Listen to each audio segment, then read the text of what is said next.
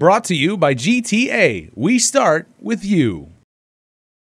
The Department of Administration got its marching orders to pay invoices from GovGuam vendors responding to COVID 19. That's right, they're getting paid, despite the fact contracts aren't signed off on by the Civil Defense Administrator Charles Esteves, certifying officer Marie Quenga, and Attorney General Leevin Camacho. Why didn't she sign any of these um, agreements?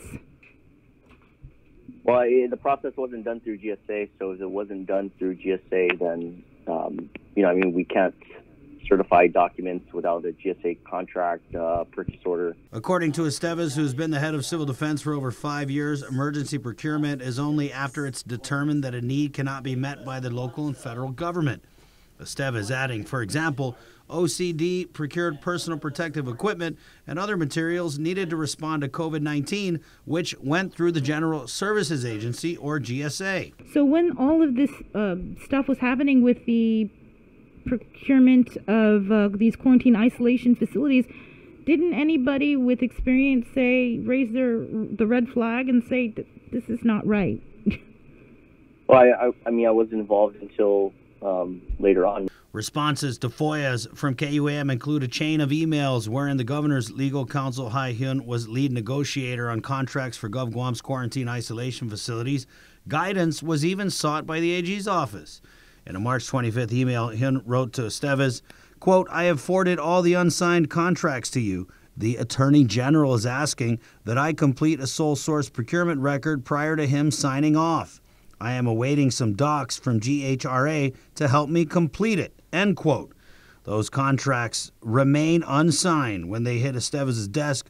On May 8th, the governor flexed her emergency powers under a public health emergency, mandating DOA to cut the checks. I'm not going to sign anything unless I uh, get concurrence from GSA, right? So if, if, if GSA is, um, you know, if they're not going to agree, then then it makes sense that that we wouldn't be able to certify the funds. And it wasn't just quarantine and isolation facilities contracts that went unsigned. There wasn't even a contract in place for meals provided by Capital Kitchen. So when I was given the invoices from Capital Kitchen, and you know, we, we tried to to see if there was still the continued need for feeding, and so uh, when um, Capital Kitchens called me up and said, uh, "How do we, uh, what's the, you know, how do we basically get a contract?"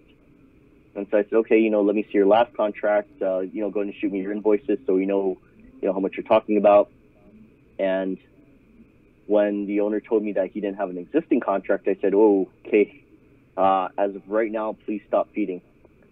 You know, because we can't, inc- you know, I, I can't tell him to, to to keep feeding because then we start incurring costs that you know I, I'm just not prepared to uh, to pay. But because of the governor's special powers, Capital Kitchen was paid almost $80,000 for meals provided to quarantine and Adelup staffers. KUAM is still waiting to hear from Department of Administration how much has been paid to COVID vendors without a contract or unsigned contracts. KUAM asked Esteves if all of these would meet the test for federal reimbursement. I'm not sure, so it really depends on on what um, you know FEMA will, will accept in terms of of uh, paperwork and documentation. Um, you know, if a document's not signed or not executed, I mean, is it is it you know a legal document. I, I don't know. It really depends on on when we do the exploratory calls, and we work with uh, with uh, with you know with with the FEMA recovery division to to determine what's eligible and what's not. And while for now it appears it is what it is, Esteves says going forward, the Office of Civil Defense and GSA will be involved ensuring the proper protocols are followed. I can tell you that right now we had we you know we're we're working to procure these quarantine facilities, isolation facilities, and we met with the uh, the chief of staff. We met with the chief procurement officer. Um, uh, public health was there. We I think it was like two days ago that we met, and we laid out the process that this is uh, what we're gonna we're gonna requ- require in terms of a hotel quarantine facility or a quarantine facility. This is what we're gonna require in terms of isolation facility. You know, we got public health buy-in. Um, you know, the chief of staff uh, acting chief of staff John Junior Cava was leading the meeting.